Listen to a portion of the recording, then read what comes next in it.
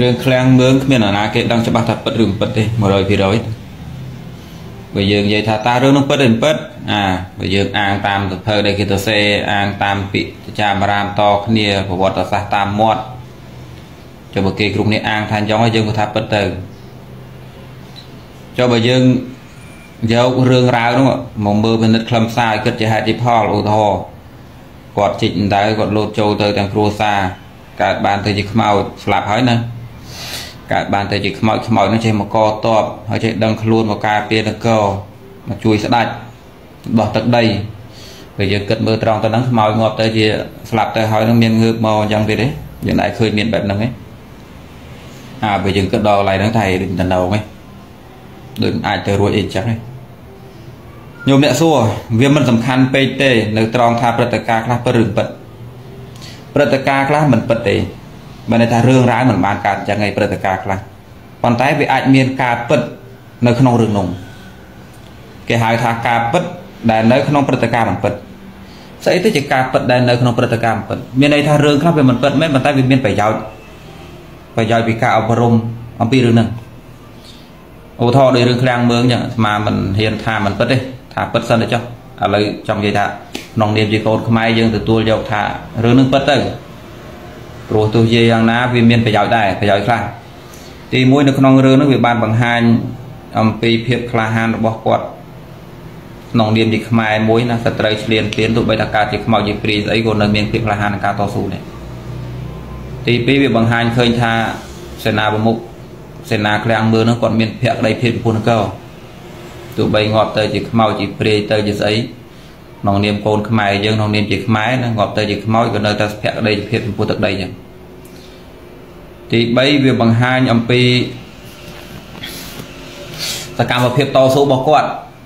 គាត់តស៊ូតាំងពីនៅរស់រហូតដល់ស្លាប់ទៅហើយនឹងកើតជាខ្មោចព្រាយនៅទៅតស៊ូទៀតមិនព្រមទម្លាក់ចោលការតស៊ូទេវាមានកតិអប់រំ3ហ្នឹងនៅក្នុងរឿងហ្នឹងអានេះយើងនិយាយថាបែបមិនពិតផងណាប៉ុន្តែសម្រាប់ អារម្មណ៍អាត្មាសម្រាប់យុបរបស់អារម្មណ៍បលបងចង់ឲ្យកូនខ្មែរទទួលស្គាល់រឿងនឹងថាពិតទៅព្រោះវាអត់មានប្រយោជន៍ខាតបងដល់កូនខ្មែរណាមួយនៅក្នុងរឿងហ្នឹងឯងឃ្លាំងមឿងគាត់ជាគំរូជនដែលយើងគ្រប់គ្នាគួររៀនសូត្រតាមជាពិសេសនៅក្នុងចំណុច3ហ្នឹងសូមបញ្ជាក់ភាសាទៀតថាមិនសំខាន់ពេកទេព្រឹត្តិការណ៍ខ្លះថាវាមានមែនឬអត់ដែលយើងថាពិតពិតណាប៉ុន្តែឲ្យតែយើងរកឃើញថាវាមានប្រយោជន៍ មានផ្នែកវិជ្ជមាននៅក្នុងរឿងហ្នឹងរឿងហ្នឹងគួរទទួលស្គាល់ថាពិតដូចរឿងឃ្លាំងមើងចឹងផ្លាប់ទៅជាខ្មោចហើយចាប់ងើបមកក្រេះចឹងកាន់ដាវមកច្បាំងហើយយើងដែរឃើញបែបហ្នឹងទេដូច្នេះវាពិបាកទួលយកដោយហេតុផលដោយវិទ្យាសាស្ត្រដោយ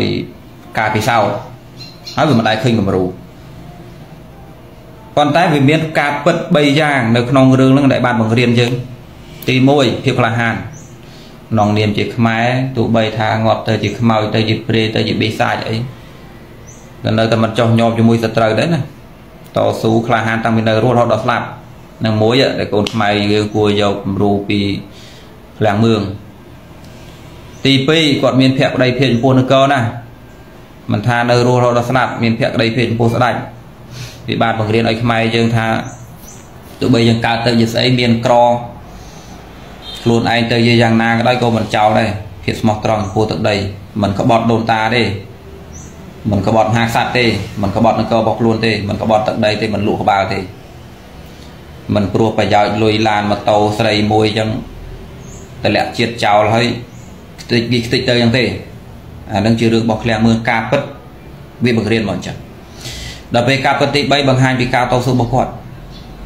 គាត់មិនមែនជាមនុស្សត្រាម៉ាស្នេហាជាតិ តមាត់មានអីបន្តិចតួចរត់ចោលចឹងទេគាត់ជាមនុស្សតស៊ូដូចថាទោះបីថាស្លាប់ទៅជាខ្មោចហើយនៅតែរកវិធីតស៊ូរហូតទទួលបានជ័យជំនះណាវាបង្រៀនយើងចឹងប៉ុន្តែបើយើងវិភាគក្នុងនៃមួយជ្រុងទៀតមានរឿងខ្លះទៀតដែលយើងមិនអាចយល់ពីវាហើយយើងបដិសេធហ្មងមានន័យថាមនុស្សកាលណាមិនអាចយល់អំពីរឿងហ្នឹងបានភាគច្រើនគឺបដិសេធថាវាអត់មានដូនតាយើងពីដើមគាត់រៀនមុនវិជាខ្មៅគេហៅថាមុនវិជាខ្មៅ ពាក្យថាមុនវិជាខ្មៅគឺគឺជាក្បួនវិជាច្រើនប្រភេទ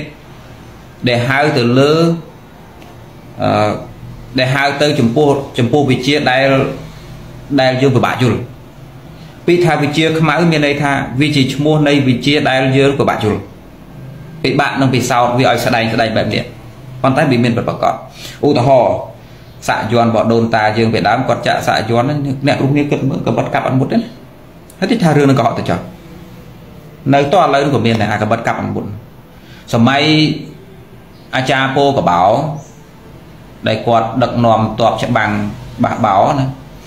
បដិញបារាំងហ្នឹងរឿងវត្តសាសគាត់មានអវិជ្ជាស្បែកគង់របស់គាត់បាញ់អីមកមកមុតទេបាញ់ហ្នឹងប៉ុន្តែមានតំណមណាគាត់ប្រាប់តំណមកូនចៅគាត់ថាទៅតតាល់មួយបារាំងហ្នឹងតមួយខឹងវាប្រប៉ុណ្ណាទៅកុំជេរវាសោះ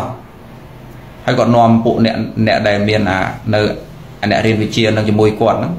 ជាតបស្រួយក្នុងការសម្របទៅពូសម័យនោះយើងមានតែព្រួយហើយគេមានកភ្លើងដូច្នេះប្រាំងបាញ់មាត់មុតទេបានតែមកខ្លោចមកខ្លោចទេបាញ់ចង់កភ្លើខ្លោចកភ្លើចុកអីចឹងមិនតែឲ្យមុតមុតទេ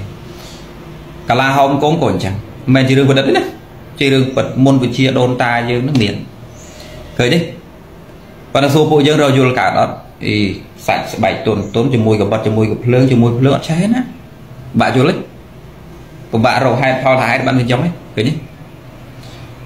វិជាខ្លះទៀតបំលែងខ្លួនមានយ៉ាងដែរវិជាពីបុរាណនៅក្នុងពុទ្ធសាសនាគេហៅពួកអ្នកប្រភេទអញ្ចឹងគេហៅស្អីទេរបបលេខឈ្មោះទៅ